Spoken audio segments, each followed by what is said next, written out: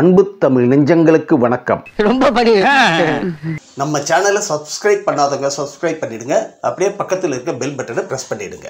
வாங்க வீடியோக்குள்ள போலாம். அமைச்சர் செந்தில் பாலாஜி குறித்து அவதூறாக ட்வீட் செய்ததாக தொடரப்பட்ட வழக்கில் சவுக்கு சங்கருக்கு நீதிமன்றம் ரூபாய் ஒரு லட்சம் அபராதம் விதித்துள்ளது. இடைக்கால தடை உத்தரவை மீறியதாக சவுக்கு சங்கருக்கு அபராதம் விதித்த நீதிமன்றம் இனி ட்வீட் செய்யும் போது எச்சரிக்கையாக இருக்குமாறும் உத்தரவிட்டுள்ளது. அமைச்சர் செந்தில் பாலாஜி தரப்பில் சென்னை உயர்நீதிமன்றத்தில் சவுக்கு சங்கருக்கு எதிரான மான நஷ்ட வழக்கு தொடுத்திருந்தார். தனக்கு எதிராக அவர் பேசிய வீடியோக்களை நீக்க வேண்டும் என்றும் கோரிக்கை வைத்திருந்தார். இந்த வழக்கை சென்னை உயர்நீதிமன்றம் விசாரித்து வந்தது. அப்போது தனது பெயருக்கு சவுக்கு சங்கர் களங்கம் ஏற்படுத்தி விட்டதாகவும் இரண்டு கோடி ரூபாய் இழப்பீடு வழங்க வேண்டும் என்றும் கோரியிருந்தார். இன்றைய விசாரணையின் போது தீர்ப்பளித்த சென்னை உயர்நீதிமன்ற நீதிபதி கிருஷ்ணன் ராமசாமி செந்தில் பாலாஜிக்கு எதிராக அவதூறு செய்யக்கூடாது என்று சவுக்கு சங்கருக்கு உத்தரவிட்டார். அமைச்சர் செந்தில் பாலாஜிக்கு எதிராக குற்றச்சாட்டுகளை வைக்கக்கூடாது என்றும் அவருக்கு எதிராக வெளியிட்ட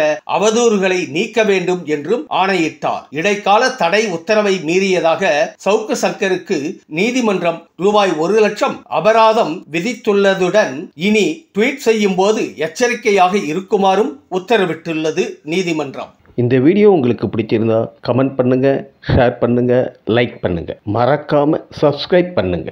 நன்றி.